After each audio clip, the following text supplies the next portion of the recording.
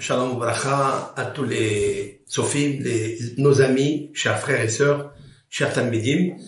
Nous sommes euh, ici après la fête de Purim, qui, j'espère, et avec une très grande conviction que vous avez passé toutes et tous, Be'ezat Hashem, un Purim qui vous a renforcé, qui nous a renforcé dans la Emouna, que tout est entre les mains de Hakadosh Baruch puisque c'est lui Hachem qui dirige le monde. Et nous allons voir en fait comment Akadosh Baruch a montré qu'il est le créateur du monde, pas seulement parce qu'il a créé le Bereshit, la création du monde, premier jour, deuxième jour, tout ce que le monde inclut à l'intérieur, tout ce qui est merveilleux dans ce monde, en commençant bien sûr par les planètes que nous regardons euh, dans la nuit, la lune, les étoiles, le soleil, le jour, sa brillance, sa chaleur, son bienfait, tout cela est, appartient à une force qui s'appelle Elohim, Akadosh Mais celui aussi qui s'appelle Yud Ke Vav Ke, le nom de Akadosh dans son ordre absolu. Lorsque le nom de Hachem est dans son ordre, donc il y a une organisation qui est tellement importante tellement forte. De là, nous allons voir, avec l'aide de Hachem, toutes les merveilles qui se produisent quand Le mois de Nissan. Et c'est pourquoi, avec l'aide de Hachem, nous allons parler du mois de Nissan. Nous allons préparer ensemble la fête de Pessah, qui est le tout Nissan, le 15 Nissan, c'est-à-dire nous projetons dans 28 jours, 29 jours, le soir de la Haggadah, le soir de Pessah, le soir où le peuple d'Israël entier est réuni pour réciter, raconter à ses enfants la, la mitzvah de la Haggadah, le récit de l'histoire de la sortie d'Égypte, avec tout ce que inclut le passage du Maguide, du conteur de la Haggadah. Nous verrons qui est l'auteur la Gada. Donc nous allons essayer de nous préparer tous et toutes par ces cours de Hodesh Nissan. Hodesh Nissan est le mois le plus favorable dans son organisation céleste et toranique pour le Ham Israël. Nissan. Nissan vient du mot Nes, miracle, mais c'est plus que ça. Nissan vient du mot Henesu Harimonim alors il est écrit dans le Cantique de Cantique, le roi Shlomo Alavachalom, dans son, sa merveille chanson que l'on lit euh, tous les vendredis avant de recevoir le Shabbat, il y a une poésie avec Akadosh Baruch et le peuple Israël, une histoire en fait, une histoire d'amour, une histoire de Ahava entre Am Israël et Akadosh Baruch et l'intermédiaire de ces deux euh, merveilles du monde, comme dit le Zohar Kadosh, que Israël et la Torah et l'Éternel sont une seule chose. Ehad. Ehad. Le Ehad, c'est euh, c'est ce qu'on a récupéré à Purim, où tout le peuple d'Israël a accepté la Torah écrite et la Torah orale avec joie et nous sommes devenus Am et Had. Là où on est devenu le Am, en général, c'est le mois de Nissan. Le mois de Nissan, c'est là où Akadosh Baruch a confirmé qu'il était le maître du monde. Ça n'est pas parce qu'il a créé Bereshit. C'est vrai qu'on lit la, la Genèse, la création du monde. Mais quand est-ce qu'on a affirmé que Akadosh c'est lui le créateur du monde? C'est le mois de Nissan, comme on va voir dans tous ces cours-là. Nous allons, avec l'aide de Hachem, diviser ce cours en trois parties. Tout d'abord, aller au texte biblique. La Torah nous propose dans la paracha de Bo, c'est là où le peuple d'Israël va sortir d'Égypte. C'est là où nous sommes dans la septième plaie d'Égypte, celle qu'on va raconter à nos enfants pendant le soir de Pessah. Il est marqué ici dans Parashat Bo, dans le chapitre 12. C'est très intéressant. Il, se trouve dans, la partie 12 de la Torah. Il y a un, un siman. Il y a un signe d'une allusion très importante à dire. Nous allons lire ensemble. Vayomer Adonai El Moshe et Hachem il dit à Moshe et El Aaron et à son frère Aaron. Be'eretz Misraïm les morts en terre d'Égypte en disant. Alors là, tout de suite, nous allons voir pourquoi Dieu s'adresse à Moshe et à Aaron ensemble. Pourquoi? La première des choses que l'on peut dire, c'est que Aaron et Moshe, ils ont été les, deux acteurs de la sortie d'Égypte. L'un parce qu'il était prophète, c'est Moshe, et l'autre parce qu'il était le traducteur de Moshe. Rappelons-nous que Moshe bégayait, il a refusé d'aller sortir le peuple d'Israël, et Dieu lui a dit, si toi tu les sauves pas, aucune autre personne ne pourra les sauver. Et je vous ai déjà expliqué que Moshe est la Neshama la plus grande que le peuple d'Israël ait eue. C'est la raison pour laquelle toujours Moshe est cité dans les textes bibliques, dans les textes de la Tefila. Nos sages, l'Assemblée générale Knesset Israël, quand il y avait 120 rabbins parmi eux 20 prophètes, ils ont toujours introduit le nom de Moshe, comme par exemple Moshe Obne Israël Lecha Anu Shira. Moshe et les bénis Israël. Az Yashir Moshe Obne Israël. Vaya Aminu Bashem Uv Moshe Avdo. Moshe étant celui qui est le Melech, le roi, prophète, incontesté du peuple d'Israël, il est en train aussi de s'avérer, même parmi les nations, que Moshe Rabbeinu était un homme de Hémet, comme nous l'avons prouvé plusieurs fois et démontré par la valeur numérique déployée. Il choisit de parler avec Aaron parce que Aaron est une seule neshama avec Moshe Rabbeinu. Moshe Rabbeinu est le prophète, mais Aaron, on a besoin de, pour faire l'union entre le peuple d'Israël, il nous faut la qualité de Moshe par la prophétie et la qualité de Aaron par le shalom. Lorsqu'il y a la prophétie qui est le tzedek, qui est la justice, ça veut dire ce que Dieu veut. Qu'est-ce que la prophétie C'est de savoir exactement euh, recevoir la névoa de Hakadosh Si l'on n'est pas un homme de justice, on peut s'égarer, on peut raconter des, des mensonges, comme la Torah nous a prévenu des prophètes mensongers qui a eu, même dans le peuple d'Israël, et beaucoup, beaucoup nombreux, comme Shabbatai Tzvi et d'autres, qui, qui ont fait des choses euh, graves, parce que leur prophétie n'était pas juste. Mais il nous faut aussi Aaron, qui est le shalom. Le shalom, parce que pour recevoir la paix, la ahdout, l'unité du peuple d'Israël, il faut le shalom. Et là, c'est la raison pour laquelle je, vous, je, je préface cela, cette petite introduction. Nous sommes ici en Égypte. L'Égypte, c'est quoi? C'est la partie la plus extraordinaire qui est enracinée dans le monde, dans ce qu'on appelle la nudité de la terre.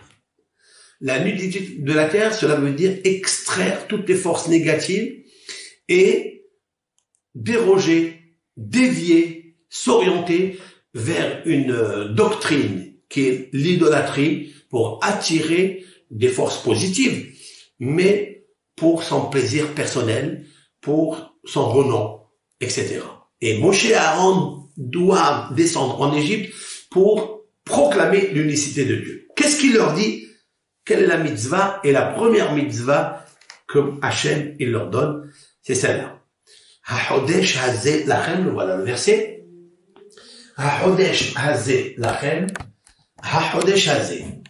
Il se trouve dans le mois de Nissan.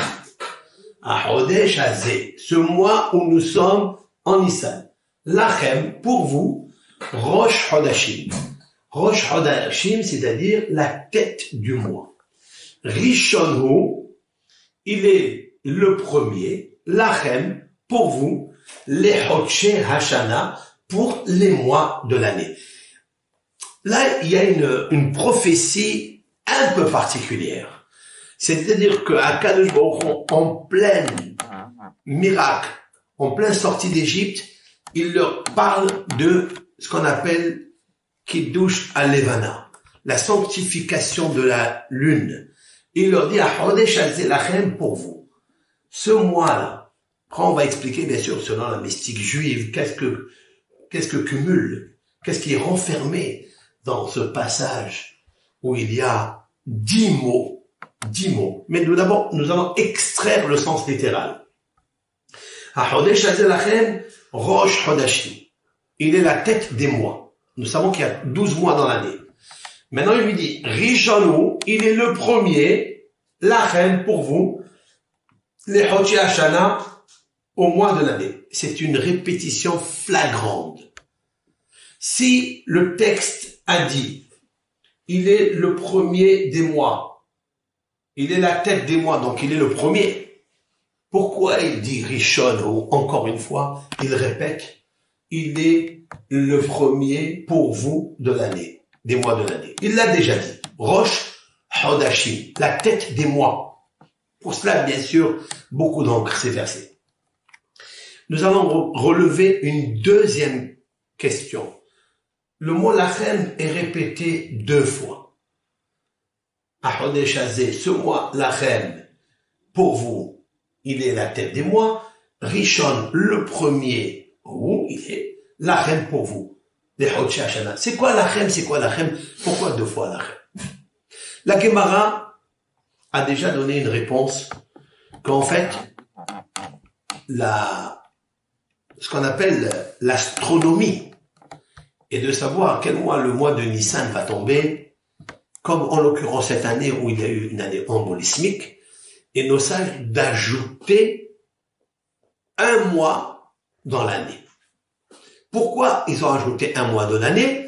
Pour qu'on arrive au mois de Nissan et que la période de Nissan propulse tous les pouvoirs, toutes les, les forces qu'elle doit donner à la création, aux êtres humains qui y vivent et aux bénis Israël qui doivent accomplir certaines mitzvot comme la mitzvah de Pesach, qui est la mitzvah la plus grande, qui commence justement le mois de l'année. Bien que le mois de Tishri, Rosh Hashanah, il est le Rosh Hashanah pour le Yom Adin, pour le jugement, mais Nissan, c'est le premier mois du calendrier juif. C'est la raison pour laquelle la Torah dit Rishonu Lachem Hashanah. C'est pour exclure que le mois de Tishri, c'est lui qui va être la tête des mois. Il sera à la tête de Rosh Hashanah, certes, mais Nissan, il sera à la tête de des mois de l'année. C'est pour ça que la Torah vient le confirmer pour ne pas qu'on se trompe.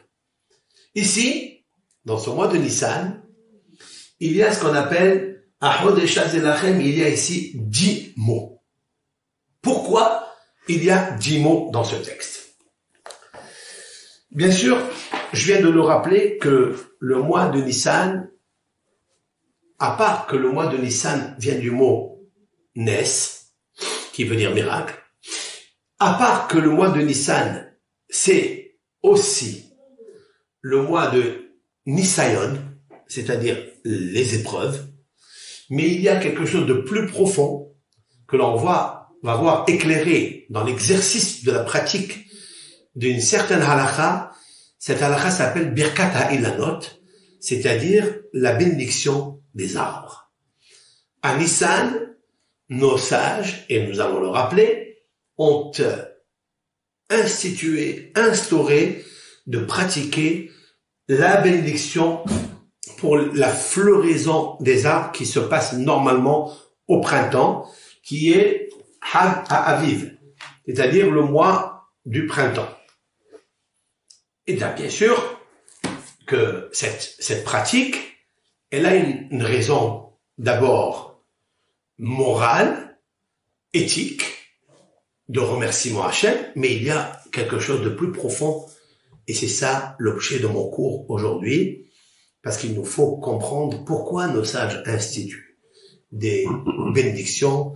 Il ne faut pas rester toujours en pratiquant les choses sans comprendre le pourquoi, le comment, les raisons, surtout internes de la mystique juive. C'est ce qui m'intéresse moi dans ce cours.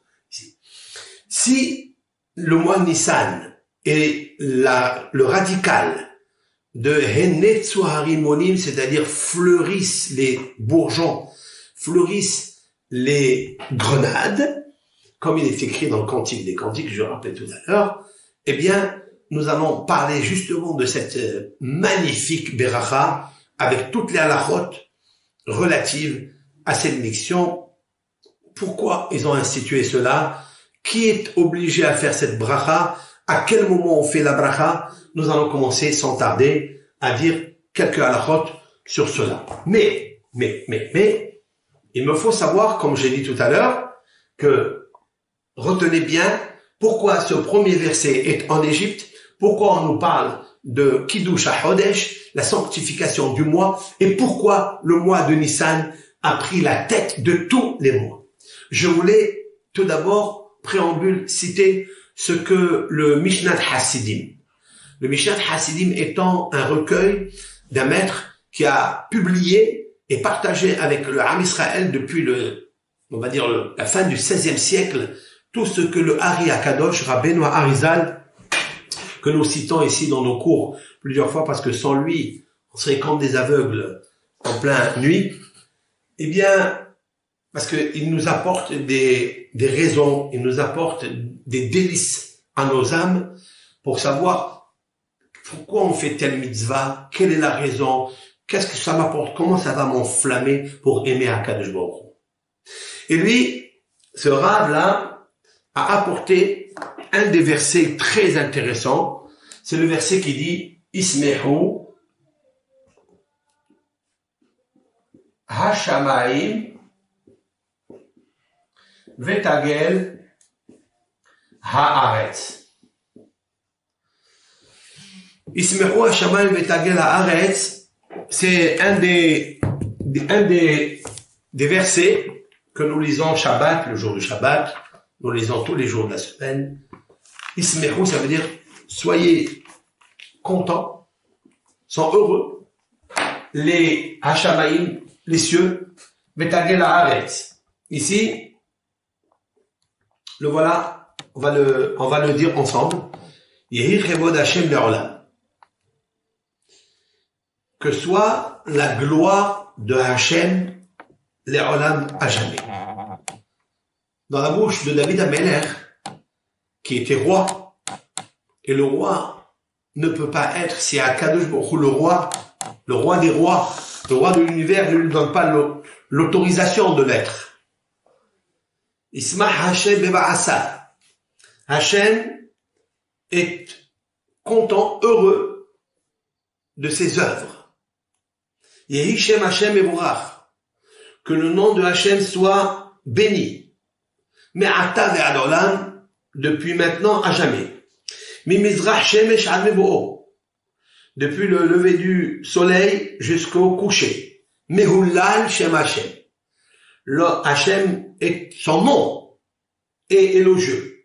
Ram al kol goyim Hashem. Il est haut, élevé, au-dessus, au-dessus, al kol goyim sur toutes les nations. Hashem. Al Hashamaim kevodo sur les cieux, la Shamaïm, pas Shamaïm, ça veut dire en, le ciel qu'on regarde. Il y a au-dessus encore, encore. Mais le mot Al, c'est celui qui est au-dessus de ceux qui sont au-dessus. C'est-à-dire tous les représentants célestes de toutes les galaxies. Hakadosh Baruch c'est lui qui est élogieux, c'est lui à qui on, fait le kavod tous les jours. si on avait l'autorisation de savoir combien comment tous les malachim sont autour de, la royauté céleste, on aurait, entre guillemets, déchiré nos vêtements par rapport à notre ignorance, par rapport à notre, à notre, à notre non-savoir, notre connaissance, de savoir comment Akadosh Baruchou, dans les cieux, Al Hashamaim Kevodo, Al au-dessus. Hachem Shimcha Le'olam. Hachem, ton nom est à jamais. Hachem Zichrecha Ledor Vador. Hachem, ton souvenir est pour toutes les générations. Hachem Bashamay. L'éternel, dans le ciel, il a préparé son trône, Et sa royauté gouverne dans tout ce qui se passe dans le monde. Ça veut dire, autrement dit, que il est assis dans le ciel, et en un seul regard, en une seule pensée, si l'on peut dire ainsi, il gouverne tout le monde entier. Nous avons dit combien de fois le nom de Hachem? Une, deux, trois, quatre, cinq, six, sept fois. Vous écoutez? David Ameller, il dit sept fois le nom de Hachem. C'est très intéressant de dire le nom de Hachem sept fois. Pour dire quoi? Pour dire cette phrase magique, qui est tellement bourrée de, de sodes, de codes mystiques. Ismehu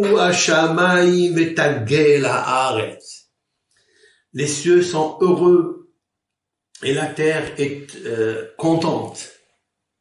Là, fait remarquer le Sefer Mishnat Hasidim au nom du Harizal, l'acrostiche, les initiales de Yud, Ke, Vav, Ke. Le nom de Akadosh le nom de Hachem, qui est le tétragramme dans son déploiement organisé, ordonné depuis la création du monde. Il n'a pas été aussi organisé et ordonné après la faute de Adam Arishon, avec toutes les tribulations, toutes les turbulences des quatre, des quatre euh, groupes qui ont amené la déception dans le monde qui ont mis en colère, enflammé la justice et la rigueur céleste, et qui a perdu la connaissance de la royauté de Hakadosh jusqu'à là. Ce mois, ce pasouk là, lorsque les cieux sont heureux, lorsque la terre est contente, c'est le mois de Nissan. C'est le mois que Be'azat Hashem, on prépare donc le Rosh Chodesh, et lorsque on va arriver à Rosh Chodesh, dans la prière de Moussaf, parce que chaque Chodesh, on fait la prière du matin, celle du matin, celle de Shahrit, et celle qu'on ajoute, celle de Moussaf, pour, pour euh, réparer ou pour accomplir la mitzvah du Korban Moussaf au temps du Beth. Et on, on, on, doit inclure dans la bénédiction celle qui est au milieu, nous, verrons dans un autre cours, Tout le but de Nissan, c'est la royauté de Hachem et que les nations qui nous écoutent hein, disent aussi Hachem Malach. Hachem Malach, Hachem Malach, ça veut dire, c'est ce nom-là, c'est celui qui ressort des initiales, c'est celui, c'est celui-ci, Malach, ça veut dire il a gouverné. Depuis le temps des temps et la création, c'est l'éternel au nom de Yudke Vavke, c'est ce nom qui est son nom unique, celui qui est la présence, l'omniprésence Rové, l'omniprésence future et celle du passé. C'est Akadosh Baruch qui dirige le monde et que les nations vont se rendre compte et ils vont concrétiser ce verset lorsqu'ils vont dire Hachem Malach. L'éternel, il a régné. Ça n'est pas le, cause et effet de la nature. Ça n'est pas la nature qui est née je ne sais d'où. Ça n'est pas la nature qui a dessiné ce monde aussi beau. Ils diront toutes les nations que Akadosh Baruch il est le roi. Il était le roi. Et après, on entame le verset connu de tous. Adonai Melech, Adonai Malach, Adonai Ibloch Leolam Nous entamons ce verset qui est Hachem, il a régné maintenant, il règne au présent. Hachem Malach, l'éternel, celui qui a régné à la création et que c'est faux de dire que le monde a été créé il y a des milliards d'années, etc. Non, le monde il a été créé il y a 5776 ans, comme nous le prouvons dans la Torah, et ça, tout le monde va le confirmer à travers la véracité de la Torah et des halachot. et, et surtout toutes les coutumes du peuple d'Israël, les fêtes de Pessah, de Sukkot, de Shavuot, qui, qui viennent à des périodes différentes pour apporter leur contribution dans la dans le tikkun ha'olam, dans la réparation du monde. Hachem Nous avons lu ici dix fois le nom de Hachem. Dix fois le nom de Hachem, comme d'ailleurs les dix mots de ce verset que nous avons cité maintenant. Si vous faites attention avec moi, j'ajouterai sur ce que dit le Harizal un petit mot. Ismeru Hashamay Vetagel Haaretz, nous avons dit que les initiales forment le nom de Yud Vavke. Mais quelle est la fin des mots? Ça m'intéresse. Nous allons voir ensemble. Ismeru, voilà, je vais le marquer ici. Ismeru, il y a un vav. Voilà le vav. Il y a un même. Voilà un même. Betagel, il y a un lamed. Voilà un lamed. Et à la fin, à Aretz, il y a un tzadi. Voilà, c'est-à-dire en ordre décroissant, rétroactif, vous trouvez tzadik, la même vav. À quoi il correspond ce mot? Ce mot correspond au mot salmo. Salmo, cela veut dire le tselem. L'Éternel a créé l'homme par le Tselem Elohim. Comme il est marqué dans la Bible, Vayomer Hashem Elohim, Hashem Elohim a dit, Naase Adam Betsalmenu Kidmutenu. Faisant un homme avec notre physionomie, nos empreintes, physionomie avec notre moule. On sait très bien que ce verset est incompréhensible puisque l'éternel n'a pas de moule, n'a pas d'empreinte et n'a pas de visage. De quoi s'agit-il? Alors, Rashi, prince des commentateurs, va donner la réponse au nom de nos sages. Il va dire la chose suivante. C'est que Akademokro a créé l'homme à son image, c'est-à-dire à son intelligence.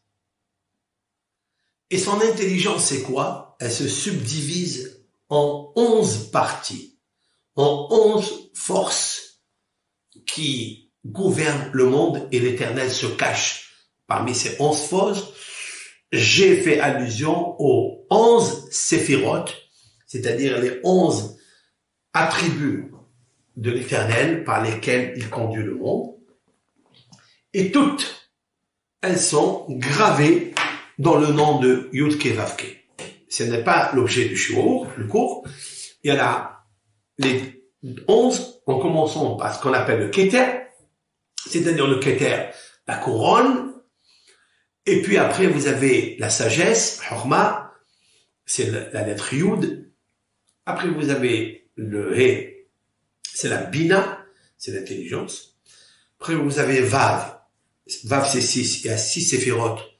Hesed, Gevura, c'est-à-dire la bonté et la charité. Gevura, c'est la rigueur. Tiferet, la splendeur, c'est-à-dire l'harmonie. Après, vous avez Netzah, la victoire ou l'éternité. Hod, c'est la beauté. Yesod, le fondement. Malchut, la royauté de Hachem. Regardez que ça a commencé avec le Keter, qui est la couronne, qui est celle qui est en, haut, d'accord, qui est très, très, très, très, très, très, très, très, très loin de nous, qu'on appelle en hébreu dans la mystique juive Ensof c'est l'infini, un sauf. Et vous avez la malchoute qui est en bas. La malchoute, la royauté, mais cette royauté, il faut qu'elle porte la couronne de Hachem. Pour qu'elle porte la couronne de Hachem, il faut accomplir les dix mots qu'il y a ici. Si vous me suivez dans ce cours, vous allez euh, avoir un aperçu de l'ampleur, de la force, de la richesse qu'il y a dans le mois de Nissan et qui nous donne une force pour nous ressusciter. C'est là où on peut ressusciter, devenir un autre homme, comme ces arbres qui sont morts, qui ont séché, qui ont perdu leurs feuilles en hiver, en automne, et qui refleurissent en printemps que nous sommes bientôt et qui donnent des fruits par la suite. Ça dépendra des jours, chacun sa la période qui nous Ici, tout est inclus de ce que je viens de dire maintenant, c'est inclus dans ces dix mots que Akadosh Baruch il a dit à Moshe et Aaron, Ahodesh, Azé, Lachem, ce mois de Nissan qui arrive à grand pas, à Zatachem, que nous allons nous préparer convenablement pour avoir toutes les données, toutes les intelligences qu'il nous faut pour pratiquer ce mois de Nissan et de Pessah convenablement. Lachem pour vous, Rosh Hodashim, il est la tête des mois, Rishonou, il est au début, Nehotia Hashana, le début pour vous. Là, vous savez que le mot Lachem, pour vous, ça dépend de vous. Ça dépendra de nous, si Dieu veut, et que si on fait attention au mot Lachem, regardez avec moi le mot Lachem, vous avez ici, le lamed, c'est lève. Lève, ça veut dire le cœur. Après, vous avez le chaf, c'est kaved. Kaved, c'est le foie. Et le même, c'est moah, c'est-à-dire le cerveau. Quand on dit à quelqu'un, vous êtes vous, ça veut dire il y a trois organes essentiels. Les organes euh, vitaux de l'homme. Son cerveau, son foie. C'est là, c'est lui qui distille le sang de, l'homme, c'est le nefesh. Et c'est là où se trouvent tous les, les forces négatives. Toutes les pulsions négatives qu'un homme a se trouvent dans le foie. C'est le foie qui amène la foi.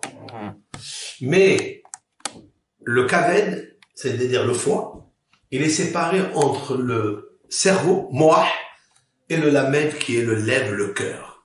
Ce sont les deux organes qui sont cachés. D'accord? Ils sont cachés dans l'être humain. Ils sont les muscles les plus essentiels avec lesquels on vit. C'est avec lesquels on réfléchit, avec lesquels on a des émotions.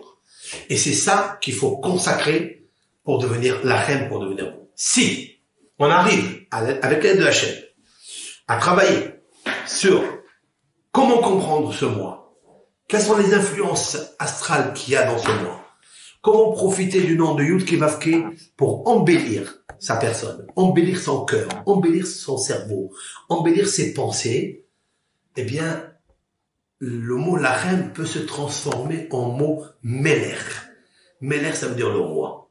Parce qu'il est le moi qui va ramener la royauté de Hakadosh Baruchou dans le monde. Et parce que le nom de Dieu est dans son organisation droite, c'est-à-dire celle qui a le projet de la création, celle qui va nous amener vers l'événement messianique. Meler, Meler HaMashiach, qui aura du cœur, parce que son cœur est très sage, qui aura un esprit très juste dans son cerveau, le Moah, et qui a une foi implacable en un Baruch il va juste en parlant, en disant des paroles, parce que, en fait, la Haggadah que nous allons lire avec l'Hachem, c'est de réciter, comme on va l'expliquer au nom du Sefer HaYetzirah, que l'élément, l'élément, euh, l'organe sensoriel, j'allais dire, du mois de Nissan, c'est siha. Siha, cela veut dire la parole, le récit, la haggadah, le sipour. C'est de raconter, c'est de parler, c'est de dévoiler, développer la grandeur de Hakadosh Baruch dans le monde.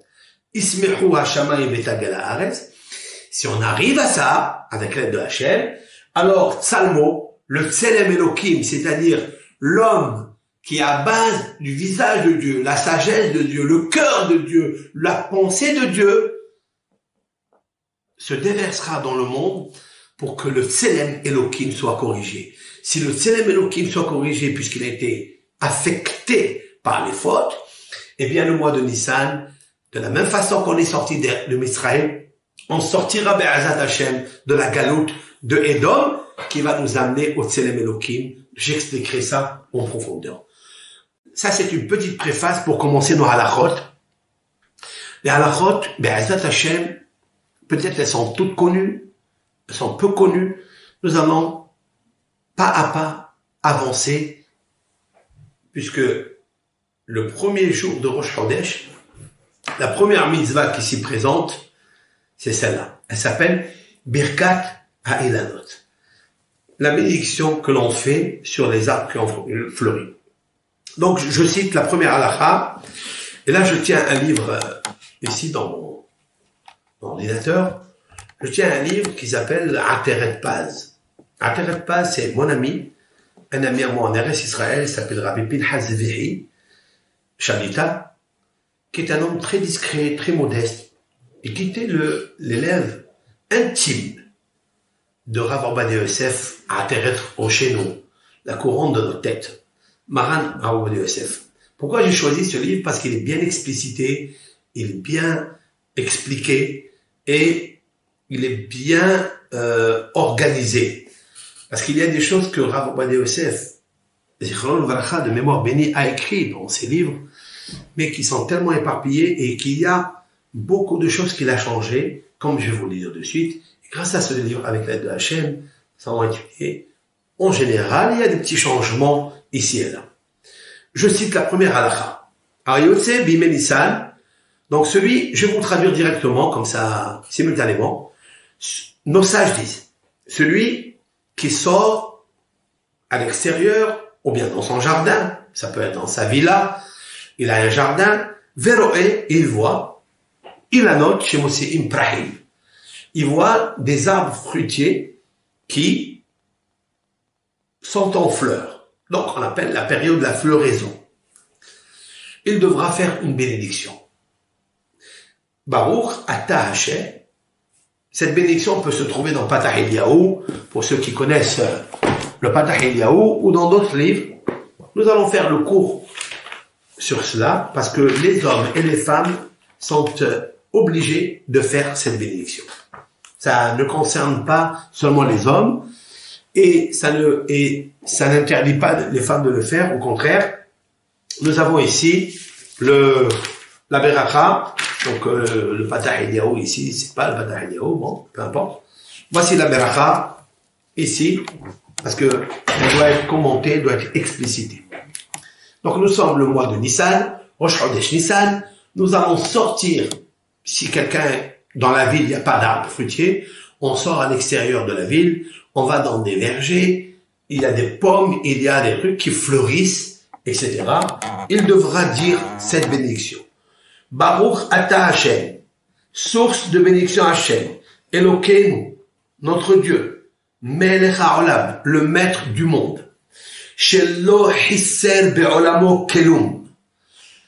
Alors là, c'est magnifique ce que nos sages ont institué ici. Bon, de ma part, il y a quelque chose de magnifique ici. Qui n'a pas manqué dans son monde rien. Il n'y a aucune restriction de ce qu'un homme désire dans ce monde que Akadosh Baruch n'a pas fait. Il n'est pas marqué, il a donné tout. Il a créé tout. Parce que l'homme, même quand il a tout, il, toujours il lui manque quelque chose. Mais là, nos sages ont pris la chose bishlili, ça veut dire d'une manière, euh, comment on, appelle ça, d'une manière pas négative, mais euh, au lieu de dire positive, qu'il a fait, chez le qui n'a pas manqué dans son monde clou, rien. Au Barabo, il a créé en lui, dans son monde, Beriot Tovot, des belles créatures il a notre vote. Des beaux arbres. On parle pas ici de beauté, ça existe aussi la beauté des arbres, mais on parle ici de bonnes créatures et des bons arbres. Pourquoi? Adam, pour faire profiter avec, avec les arbres, avec les créatures, Bene Adam, les êtres humains.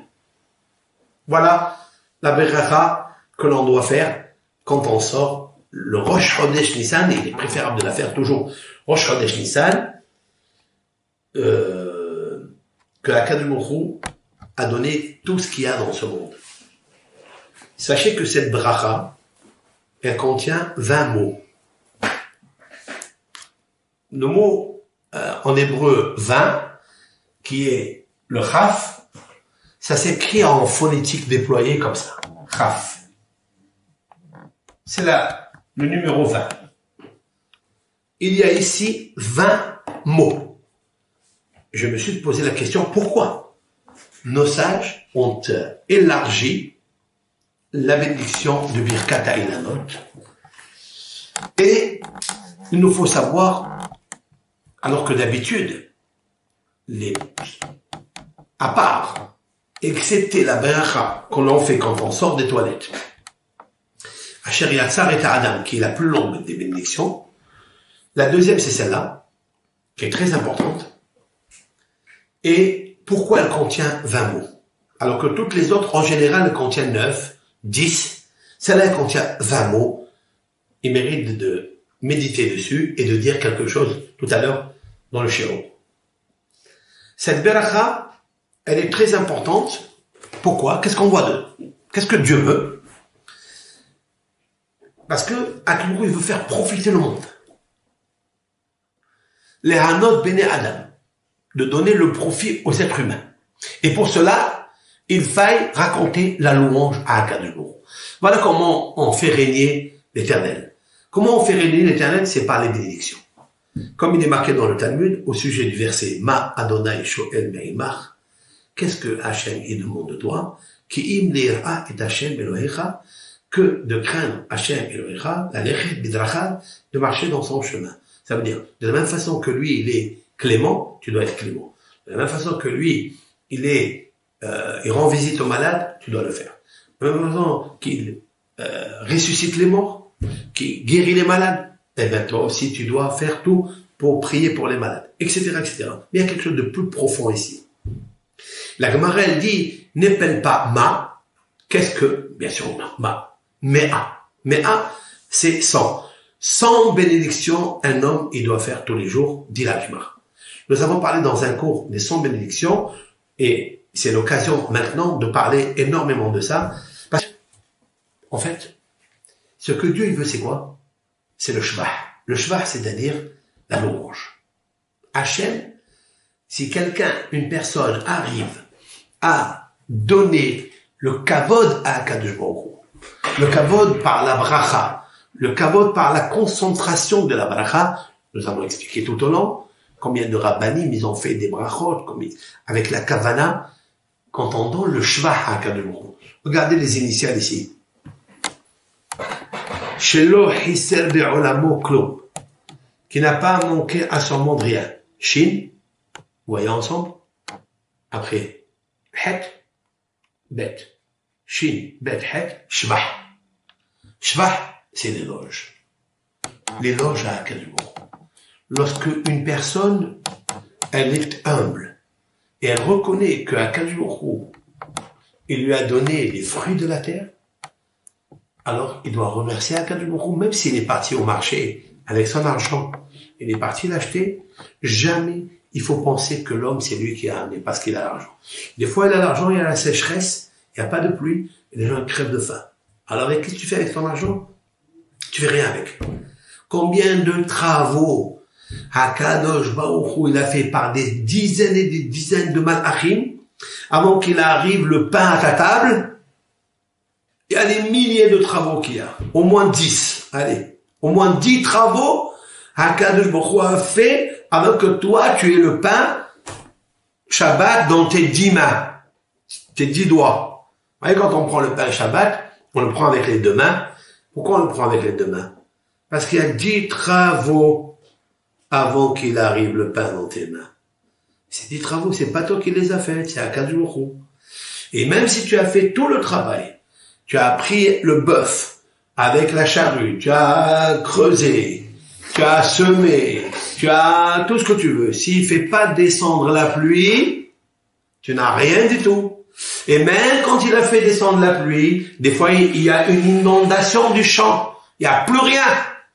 Il faut remercier Akalmoukrou, chez Hisser Be'olamo Klum, Akalmoukrou n'a rien manqué en Donc, et pourquoi le mois de Nissan n'est pas le mois de, pas le mois de? Parce qu'il n'y a pas la floraison. On parle ici de la floraison. La floraison, c'est quelque chose, on appelle ça en hébreu perah. C'est un mot qui est très riche dans sa, dichotomie dans sa valeur numérique, dans le sens mystique du mot pera qui veut dire la fleur. Et si ça, c'est très important. Donc, on dira, cette baracha, la Hanot Bene. Quelle est la raison pour laquelle on doit faire ça? Parce que l'homme, l'homme, tout homme, Ben, ben Israël, il voit la renaissance de la création entière dans le monde. C'est une renaissance extraordinaire. Ça veut dire que, de la même façon qu'on peut apprendre des animaux des champs, comment se comporter, comme dit le Talmud, si la Torah n'avait pas été donnée, j'aurais appris du chat comment être pudique. Le chat, lui, après avoir fait ses besoins, qu'est-ce qu'il fait? Vous le voyez, il creuse, il, et il, il cache. C'est pour ça qu'on appelle ça les couches en hébreu, il s'appelle hitulim. Hitulim, ce sont les couches pour cacher la misère. Et en fait, ça vient du mot hatoul. Ça vient du mot euh, chat. S'il n'y avait pas le chat, combien de rats il y avait dans ton jardin? Et on sait que le rat, hein, c'est un rat-chat. Et c'est pour ça que la Gemara dit que le, rat, c'est des Rishaïm. Voici les rats sont des méchants. Pourquoi? Parce que quand il trouve un grenier où il y a beaucoup de, de blé, non seulement que lui il te vole, il mange, mais il appelle tous ses camarades pour aller voler lui aussi. Il s'appelle rat. Pour ça qu'il y a le chat. En fait, le hatoul, c'est quoi le hatoul? C'est hitoul, c'est-à-dire cacher, couvrir, couvrir. Même après qu'il a couvert, remarquez bien, dit le Talmud, il va sentir, est-ce que c'est bien caché ou il y a encore une odeur qui se dégage de, de, de ses excréments pour ne pas gêner autrui? Mais d'où il a appris, lui? Quel, quel instant, quelle académie, dans quelle Sorbonne il a étudié ce, ce petit Charles Akadosh Baruch lui a mis l'instinct de chorma, de sagesse. Voilà. L'homme, il aurait appris de lui. Eh bien, moi, je pense que le mois de Nissan, après avoir vu en hiver, en automne, toute la création se désagréger, se décomposer, Autrement dit, mourir. Ou les arbres, tu les vois, tu dis, mais qu'est-ce qui va pousser de ça? Vous le touchez, il est dur. Et de là, en printemps, Akadosh vous fait revivre les prahim, fait revivre les bourgeons, fait revivre les fleurs. Et quelle couleur elles ont les fleurs? Elles sortent avec le hen, avec la grâce. Donc, si Hachem, il a choisi la renaissance du monde, la résurrection du monde, le mois de Nissan, c'est là où il a sauvé le peuple d'Israël d'Égypte pour leur donner une renaissance, pour devenir le Ham Israël.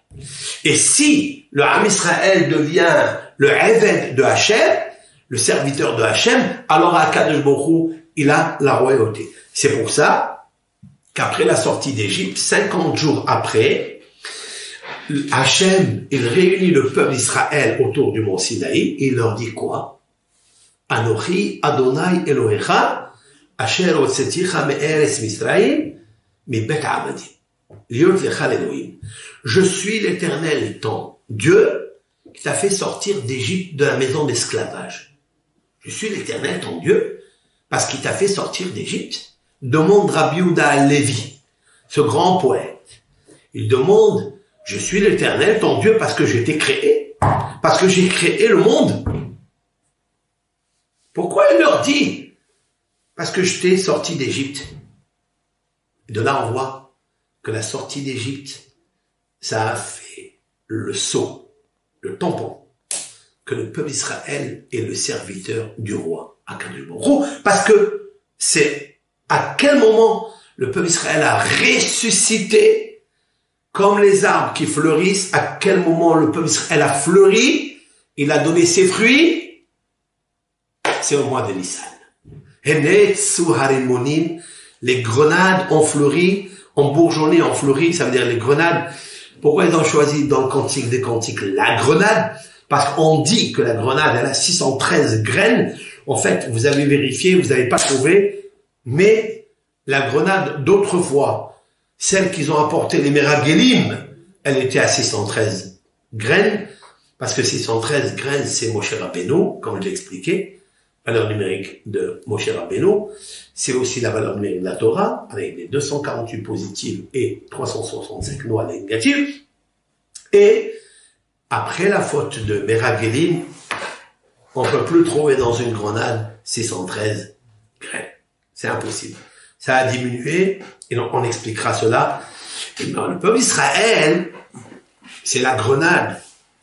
À Rosh Hashanah, on dit, Hachem fait en sorte qu'on soit rempli de mitzvot comme la grenade. C'est vrai? Pourquoi on dit cela? Pourquoi on dit comme la grenade? Ben, S'il y a que, on va dire, 200 graines, ça ne suffit pas, nous. Ça suffit, il faut qu'on fasse plus de mitzvot. Pourquoi on a dit que la grenade? Parce qu'en fait, dans la grenade, il y a quelque chose de très particulier. C'est que les graines sont l'un attaché à l'autre. Chaque grain, chaque graine est attachée à l'autre. On dit à Hachem, fais en sorte qu'on fasse des mitzvot, l'une qui suit l'autre. Une qui suit l'autre. Quelle est la preuve que tu as fait une mitzvah? Tout à l'heure, si cette mitzvah, elle t'a amené à faire une autre. La lumière de l'une, d'une façon de facto naturelle, elle t'amène à faire une autre. Alors on dit à Hachem, multiplie nos mitzvot comme les grenades. Comme les grenades, ça veut dire quoi? Comme la juxtaposition, l'entraide, c'est-à-dire la, comment on appelle ça? Le mitoyennage d'une avec l'autre. Et c'est ça, la mitoyenneté. Ok, français, moi j'ai pas... Le voisinage. D'accord? Le voisinage, la qu'il y a une avec l'autre, ben c'est ça qui fait en sorte que on demande à Et c'est ça, à, Nissan, le grand docteur de la sagesse, Shlomo Ameler, a choisi de comparer le peuple d'Israël le mois de Nissan à cette grenade qui fleurit, qui va donner, c'est d'ailleurs un, un, des fruits de Thérèse Israël, les rimonim. Vous savez, le mot rimon, ça a une connotation tellement grande. Le mot rimon, c'est l'anagramme du mot méron, Méron, c'est Rabbi Shimon Bar là-bas dans le Zohar Kadosh qui a fait éclater dans tous ses sens avec les flammes magnifiques de toutes les couleurs comme la couleur de la grenade, couleur rubis. Rabbi Shimon Bar a éclaté le Zohar Kadosh qui jusqu'à aujourd'hui et dans tous les temps, il sera celui qui va nous faire sortir d'Égypte. Pourquoi? Parce que dans le Zohar Kadosh, il est stipulé à maintes reprises dans sa majeure partie que grâce à ce livre du Zohar Kadosh, c'est-à-dire un mystique juif, qui est la grandeur de Hachem, la gadlout de Hakadosh la grandeur de Hachem, sa sagesse, elle passe par là, le, par le pardès, par justement le verger de la Torah. Donc voilà une première halakha qui est, je, je reprends, que le mois de Nissan, le Rosh Chodesh, dès qu'il arrive Rosh Chodesh, on fait cette mitzvah de Birkat Ilanot, soit vous allez à la synagogue, soit vous le faites dans votre jardin si vous voulez. Et cette mitzvah, comme je vais l'expliquer tout à l'heure, elle n'attend pas le minyan. Il est vrai que l'on dit que lorsqu'il y a plus de monde, c'est plus un kavod à Kadosh Berov am hadrat melech, c'est un verset, avec plus, avec une multitude d'un minyan, on a le kavod, la splendeur du roi, mais cette mitzvah, il y a un autre principe dans le Talmud, Zerizin Magdimin la mitzvot. Les zélateurs s'empressent de faire les mitzvot. Donc, en l'occurrence, dès que Netzahama, écoutez bien, dès qu'il y a le Netzahama, Netzahama, c'est-à-dire le lever du soleil, dès qu'il apparaît le lever du soleil, il faut faire Henetz Arimonim.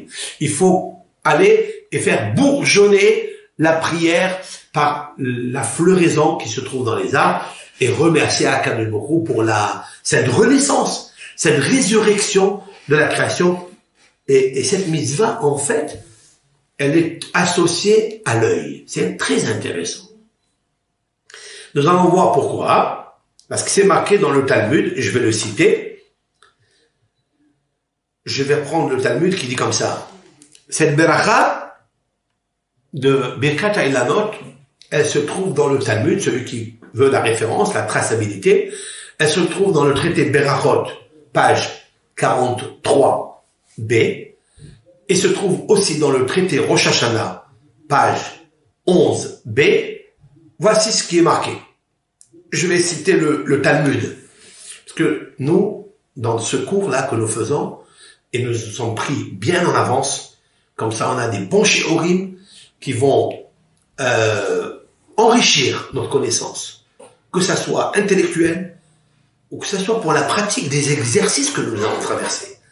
Donc il nous faut apporter à la source, et lorsqu'on cite, sachez-le, dans les Sfarim de la Kabbalah, c'est marqué, quand on cite le texte biblique ou le texte talmudique euh, d'une façon live, en direct, on remue, on fait bouger la kedusha de mon cher Abénou, de Aaron qui a parlé, ou de Akadim qui a parlé, ou bien ici en l'occurrence, Ravi Houda. Ravi Houda, c'est le maître qui a parlé justement de cette halakha de Birkat. Qu'est-ce qu'il a dit Ravi Houda Amar Ravi Houda. Hayman dinafik biyome Nissan. Bien sûr, c'est en, en araméen, mais je vais traduire. Mais quand je vais traduire, il me faut toujours apporter un remèze, une allusion, dans le sens le plus simple, superficiel, littéral. Parce que chaque grave qui a parlé, il a mis à l'intérieur de son dvar, il a mis du sucre, il a mis du sode caché. Et c'est ça que j'aime moi dans mon étude. Amar Raviouda, Raviouda dit, Hi man, hi, ce monsieur, man, man c'est monsieur, comme man, Superman. Denafik Beyome Nissan, qui sort le mois de Nissan. Donc on parle que du mois de Nissan. Cette mitzvah, elle s'adresse à uniquement au mois de Nissan. Vehaze ilane de kamelav levé. Et il voit des arbres qui ont fleuri. Tu vois le mot melavlev. Melavlev, c'est la floraison. Il n'a pas dit des pareils. Le mot perah, perah, c'est la fleur. Pourquoi il n'a pas dit qu'il a fleuri Il a dit melavlevé. Vous, vous comprendrez, chers frères et sœurs, que le mot melavlev, il y a deux fois le mot lève. Lève, lève. Le cœur. Il faut toujours comprendre le texte que nos sages ont dit. En fait, cette fleur qui sort, elle s'appelle en hébreu perah, mais en araméen, elle s'appelle livlouv. Livlouv, ça veut dire deux fois le mot lève. Il faille mettre ici deux intentions dans Berkata et la note. Il y a une la plus simple, comme je viens de dire maintenant, celle de dire qu'à il renouvelle à nos yeux la création par la floraison. Mais il y a une autre raison qui est plus profonde. Je vous la dirai tout à l'heure. Qu'est-ce qu'il doit dire? Baruch Merci l'Éternel qui n'a pas manqué dans son monde rien. Il n'a pas dit davar, parce qu'il y a qui ont dit on enlève clou, on met davar. Il dit non, on laisse la halakha clou. Il a créé des belles créatures, il a créé des beaux arbres, des bons arbres, fruitiers, les hanot behev adam. Cette halakha-là, elle est écrite dans le Talmud, mais c'est pas tout ce qui est écrit dans le Talmud qui est répertorié dans le livre du Shulchan Aruch. On le sait très bien. Par contre, Maïmonide, Maïmonide qui est un des premiers décisionnaires halachiques, un des plus grands qu'on appelle la Nesher Agadol, cela veut dire le grand aigle. Lui, il rapporte cette halakha, ainsi le Rokeah, ainsi le Eshkol, il y a beaucoup de rabbanim qui ont amené le, cette halakha. Par contre, il y a dans des livres, au lieu de marquer les Hanot, ici, vous me suivez, euh, c'est marqué les Hit'adden. Les Bahem Bene Adam. C'est Hit'adden, ça veut dire pour que se, délecte. Les beaux fruits pour que se délectent les personnes. Nous, la tradition, d'après la confirmation des poskim, nous laissons comme c'est marqué dans les livres, les hanot de profiter. Pas les ta'den. Mais ce maître-là, qui a mis les il a eu une raison pourquoi il a mis les. D'accord? C'est pour la raison que je vous expliquerai que, mis à part la reconnaissance à Dieu de nous renouveler le monde par cette renaissance magnifique, absolue, de la floraison des arbres, mais il y a quelque chose encore de plus profond, qui est la floraison des âmes. Et c'est ça que je voudrais parler, très important, pour cette bracha, parce que on va, avec l'aide de Hachem, expliquer de ça. Et donc, euh, par rapport aux âmes, on confirmera le mot l'ita'aden, parce qu'il vient du mot Aden. Le mot Aden, c'est le Gan Eden, et sur le Gan Eden se trouvent les Neshamot, et c'est ça qu'il nous faut faire profiter tout le monde. Dans cette bracha, on fait profiter et les êtres vivants, et les êtres qui ont disparu, comme je vais l'expliquer, qui est une bracha très très importante. Donc on voit de là que la renaissance, la floraison du monde, que l'homme y voit, qu'est-ce qu'il voit C'était des arbres euh, secs, vraiment secs. On a attendu le Av, le mois de, pardon, de premier Av, Toubishvat, et on a fait la bracha de Toubishvat, parce qu'à Toubishvat, la sève, elle est en train de monter, elle monte dans les arbres, c'est-à-dire une irrigation du Tselem Elohim. C'est ça que ça veut dire. Ça veut dire qu'Akadosh Baruch il montre qu'il est le roi du monde par Toubishvat, ou bien le premier Shvat, après Bet Shammai, c'est Toubishvat, et cette irrigation-là, elle commence à Toubishvat. Mais ce qui est très intéressant, chers frères, c'est que, regardez dans les mois de l'année, il faut que je fasse un tableau ici, tout à l'heure, on voit que le, les, mois sont divisés en six. Oui, en six. Vous avez Nissan, après vous avez... Nissan, c'est... Il va venir bientôt. Nissan, Iyar, Sivan, Tammuz, Av, Elul. Nissan, il est en face de Tishri. Vous avez vu? Tishri, Hajvan, Kislev, Shvat, Adar. Adar, on vient de finir on commence Nissan.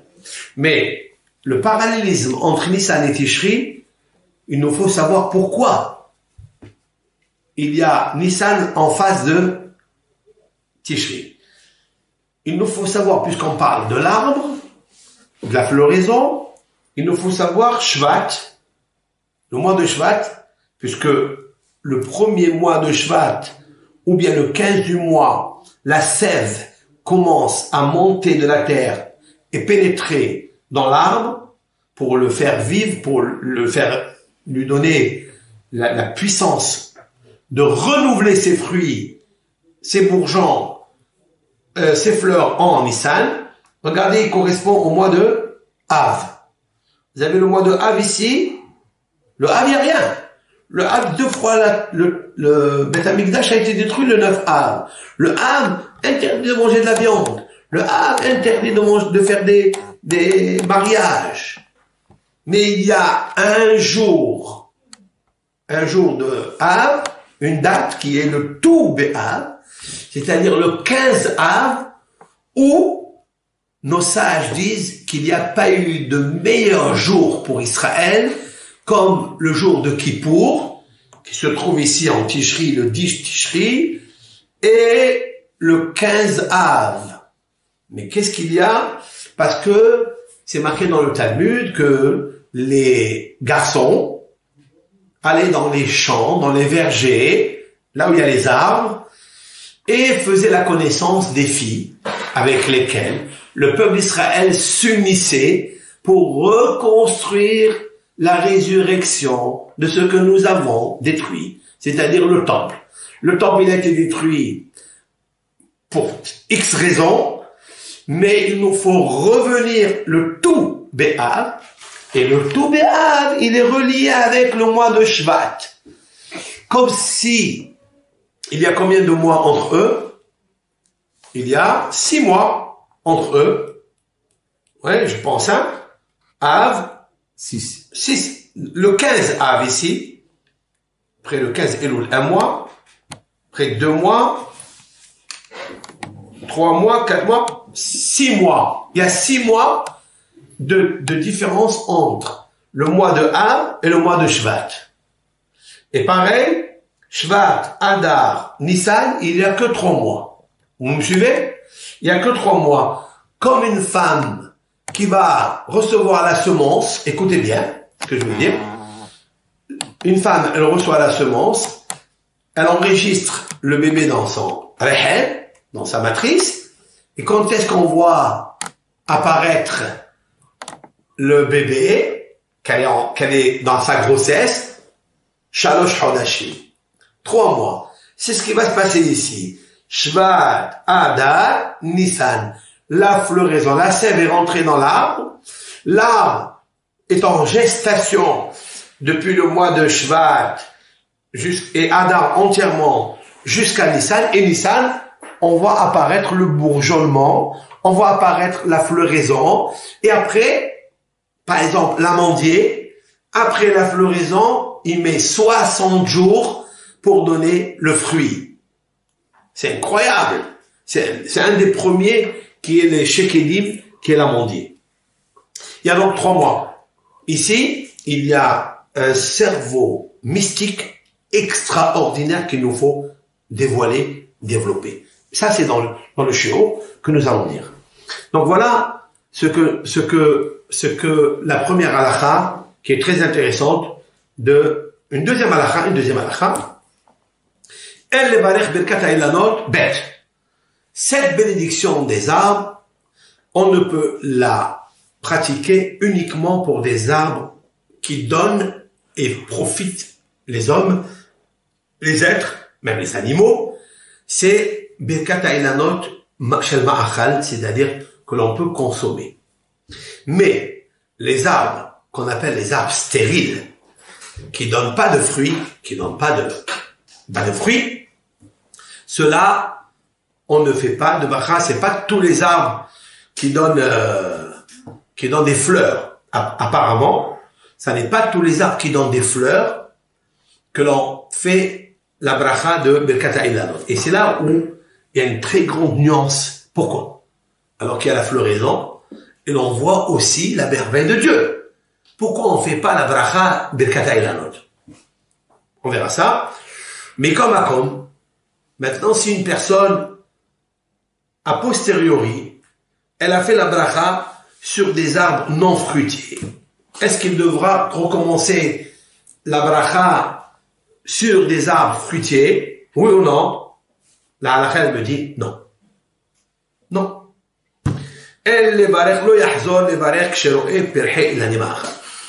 Il ne fait pas de bracha. Pourquoi? Pourquoi? Comme je viens d'expliquer maintenant, puisque les arbres non fruitiers, mais qui fleurissent, qui ont des fleurs, a priori, il y a une raison de faire la bracha aussi dessus. Il y a une raison, mais nous, nous, ne la faisons pas. Le Harizal, à Kadosh, il faisait, même sur Ilané Serak, qui donnait des fruits, des arbres qu'on ne connaît pas, ils poussent dans la, dans la forêt, d'accord? Et qui donnent des fruits, mais qui sont pas, qui, se vendent pas dans le marché. Sauvage. Sauvage. Cela, Arizal, il faisait, quand il trouvait, il faisait la bracha dessus. Parce qu'elles fleurissent, elles donnent des fruits. Alors on faisait la bracha dessus. C'est la raison pour laquelle euh, on s'abstiendra de refaire la bracha sur il la Nesserak, c'est-à-dire ce sont des arbres non fruitiers. Une troisième halakha,